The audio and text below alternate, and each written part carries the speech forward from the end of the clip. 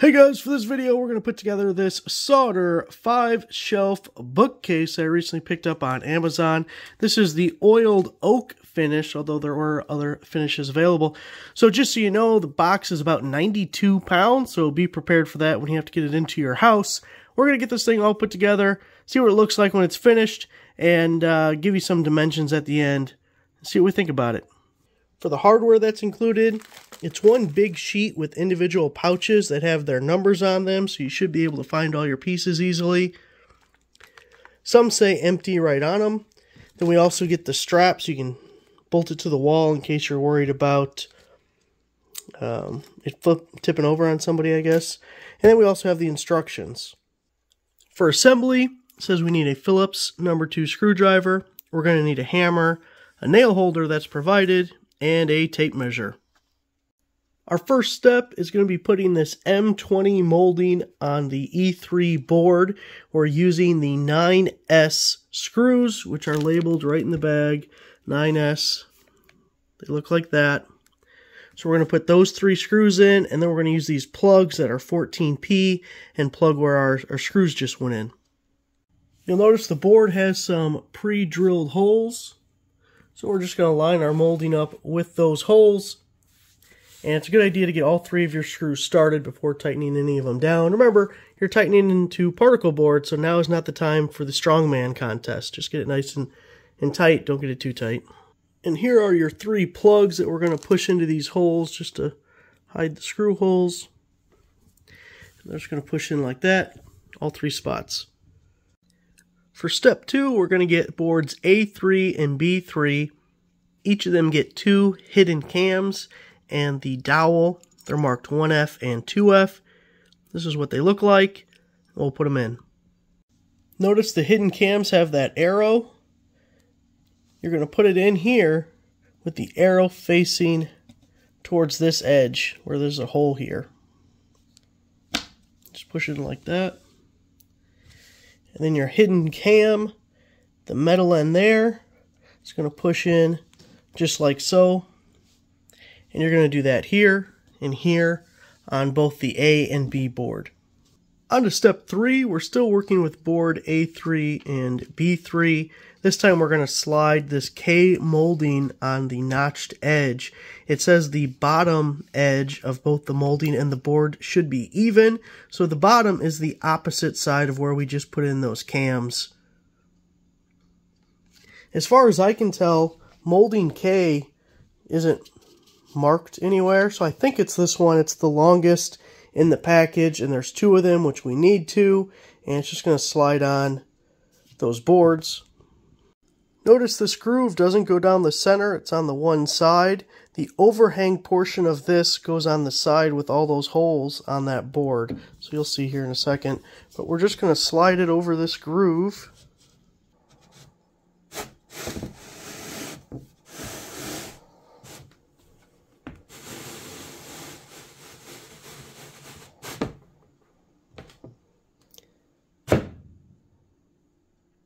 Until it hits the floor. We're good there. See, overhang, side with the holes.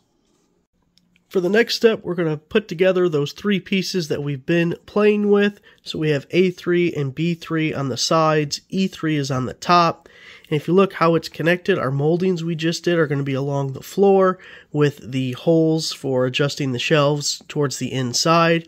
On E3, we have this molding across the bottom and our four hidden cams or cam dowels are going to go into holes on E3 and then we're going to tighten these cams. So these dowels here on B3 and A3 are supposed to go into this hole right here and then you tighten the cam. Now run into my first little snag because this lip right here will sit on top here for it to push in and I'm hitting the molding here so that the dowel is too high and it's not going to fit in the hole.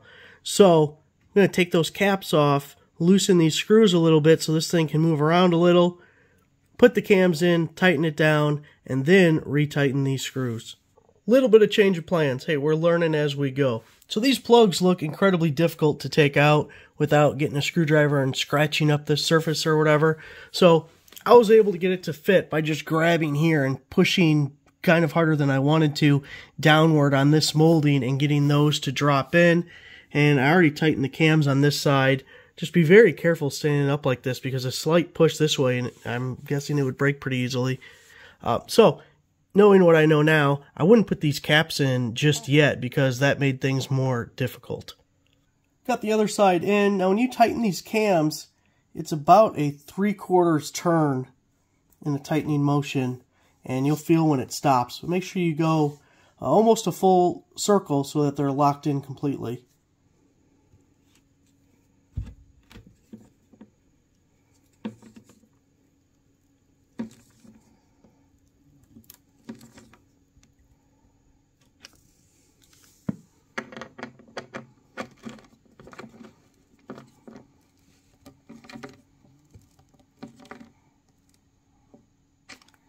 Also part of step four is putting the safety strap in E3. There's a hole there and a separate package with the safety strap, but that's what the instructions say about it. I'm not doing that part. For the next step, we're attaching G3 to the bottom of A3 and B3, and it's going to use four of these big boy screws. They are labeled 113S,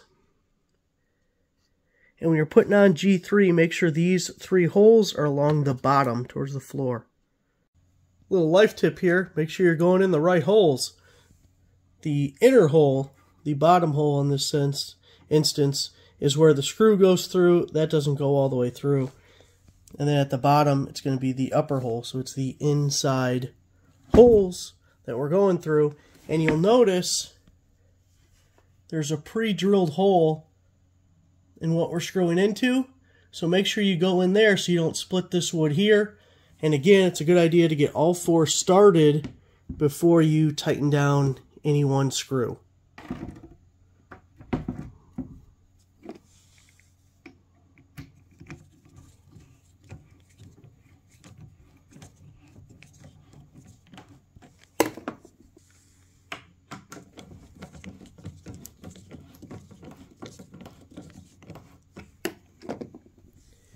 We'll get the other side started, then tighten them all down. So that's where we're at so far, and we're ready to move on to step six. Step six is like a multi-step step. We're getting new pieces out. We need C2 and D2, and we're going to do the same for cams along the edges with the little dowel. Remember the metal end going into the cam. So let's do that portion first. I have C2 and D2 here. Again, we're just pushing this guy in, the arrow facing this hole there. And we're going to drop this guy right inside there. Give it a little push. And we're going to do that four total times.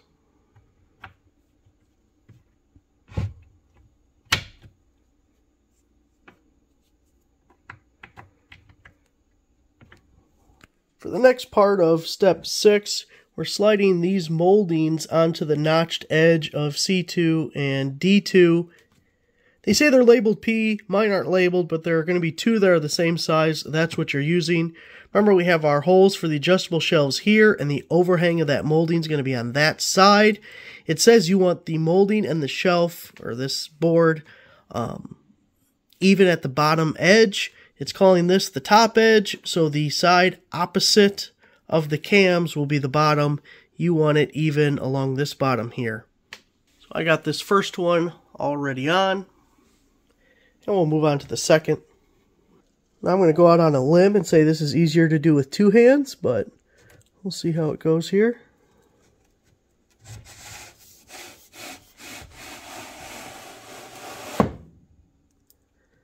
There you go. The last step for step six is these angled brackets along the bottom. There is a pre-drilled hole in C2 and D2. And here's what your little plastic guys look like. And you're using screws labeled 1S. They look like that. It says you're only using two screws in this step, so I'm assuming you're only screwing to the board. C2 and D2. So there's our pre-drilled hole. We're just going to slap that guy there and put the screw in, tighten it down, one for each board. On to step seven, these two pieces we were just playing with are going to connect to the bottom of that G3 board. It does say to place something underneath here for support. For support, place packing foam and magazines. So your magazine collection finally coming in useful. It looks like we're also going to slide these moldings up to where they butt into G3. And again, your adjustable shelving holes are going to be facing inward. So good thing I didn't break up all my packaging materials. We got one foamy holding up the top portion that we built a while ago. And then we have another foamy holding our new side piece. So we're just out here rolling with the foamies. We're going to put our dowels inside the pre-drilled holes in the bottom of this board and we have to tighten our cams.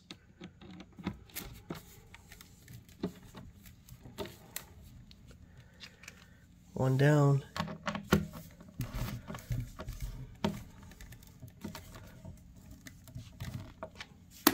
And we'll do the same thing to the other side.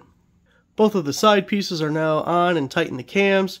And remember to slide your molding here all the way up till it butts up to the bottom of, what was that, G? Whatever that board is, till it hits that one. Congratulations, you have made it to step 8. Here we're going to use three angled brackets and we're going to attach this skirt to the front of G3. It says the skirt is O. I don't see no label on it, but just looks like this and it's got this groove and the screws will go into the groove. So you got to position it so uh, it looks like the groove goes towards the top, goes that way. And these are your three angled brackets and you're using the 1S screws, which are those guys there. You're going to be using a total of six of those. I got the three angled brackets all in. I got the screws tight enough that the bracket will hold its position, but loose enough that I can still move it. We'll go back and retighten things once we see exactly how this next piece is supposed to sit. Working on putting the screws in the groove of this thing, uh, one, I'd like it to be a little tighter fit. That seems pretty loose. Obviously, I don't have the screw tight yet, but a lot of left to right movement on this piece. And they say the screw will start into the groove, and I guess that's technically true, but it's going to take 20 minutes. Exaggerating a little bit. But yeah, I guess it does start to screw eventually. It's a good forearm workout. Normally, I would never grab a power tool for this kind of furniture because I'd be afraid of breaking it, but I'm on the cusp for this one. Got it all tightened down. After I got all three of these screws tightened, just kind of felt underneath with my hand here to make sure this piece was flush with the shelf that it's getting screwed into, and then tighten these ones up here. On to step 9. This time we're grabbing board F, and we're going to start with our four hidden cams in each of the corners, and also putting our dowels in there. Here is board F, and as we've seen before, you push our little cams in and then put the dowel in on top of it afterwards. So you have two on top, two on bottom. For the next step, we're going to use our last three plastic angled brackets and three of our 1S screws. And these go right along the edge here. There's going to be some pre-drilled holes we'll find. We spotted our three holes. Just going to put the brackets on like this. I'm going to get them snug about the same as I did the previous step. Not going to tighten it down until I know exactly what's going on with this. And for the next step, we're going to attach F to the sides of D2 and C2. We have those four hidden cams that are going to get tightened, so you see they face downward. So F is going to look like that, and we're going to tighten our four cams.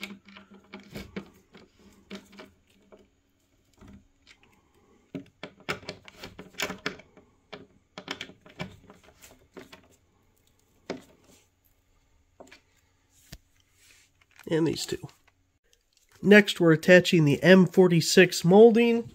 Looks like this guy right here. To the five angled brackets using, again, the 1S screws. And this does have pre-drilled holes that you'll be lining up.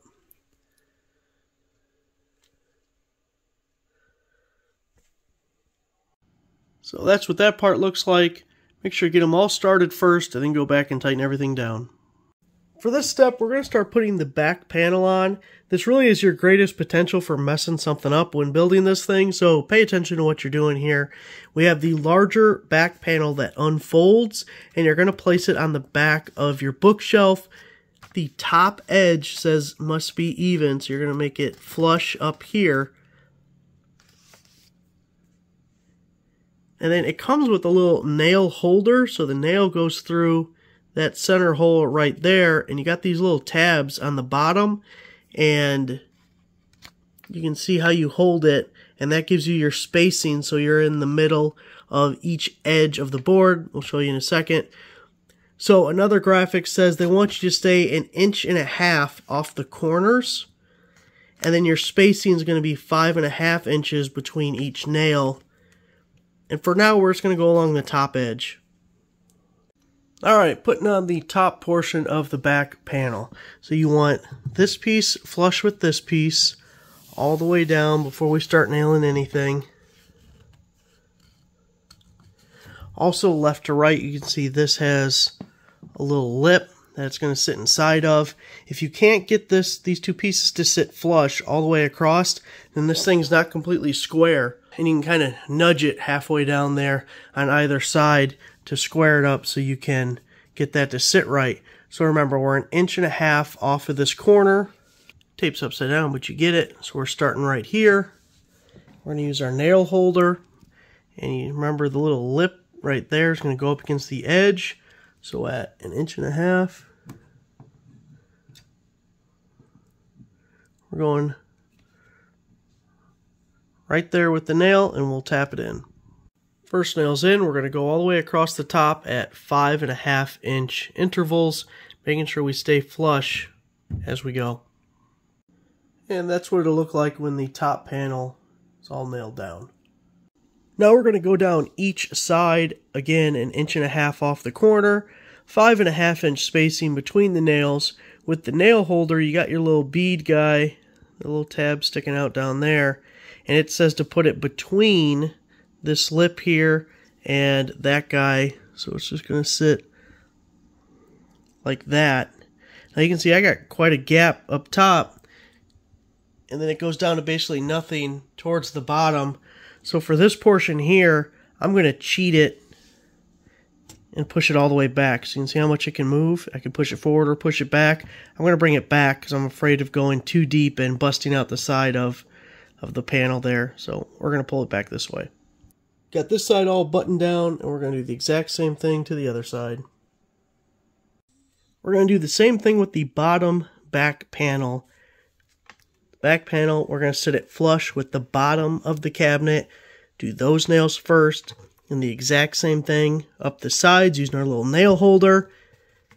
The seam here between the top and bottom back pieces is going to have a little bit of a gap and eventually we're going to get to these screws that are going to go there. But let's get our nails in first, along the bottom, then up the sides. Got the nails around the three edges for the bottom piece. Now we got to put these three black screws in. So we're going to put one right down the middle seam here. As you see, I got that. And then the next two, we're just going to split the difference between this screw and the edge here. So, you know, somewhere right there. And then on the other side, do the same thing. We're just putting it right in the middle of the board so the head of the screw catches a little bit of both pieces. And those three screws are in, ready to go. Alright, now we're able to stand it up, get our first look at it.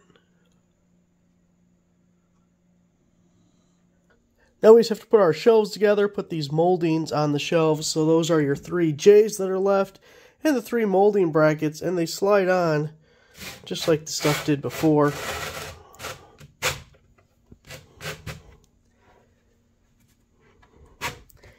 And you're going to need this basically centered because it's going to go between the moldings on this guy there. But let's get all three of those shelves moldings put on. Next we have a bunch of these little plastic hidden cam covers.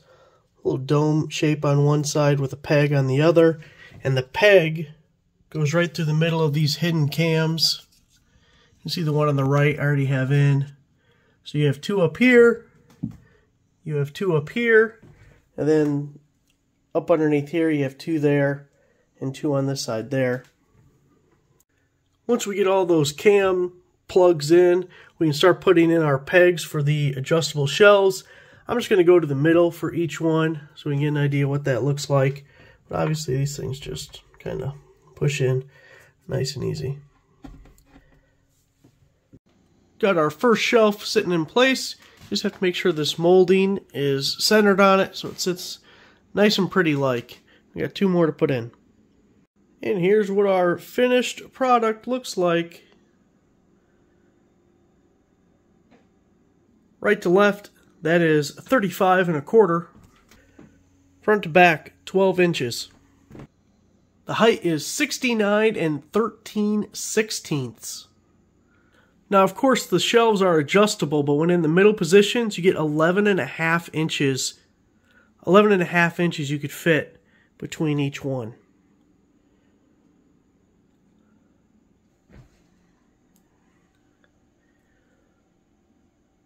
So there it is, all built.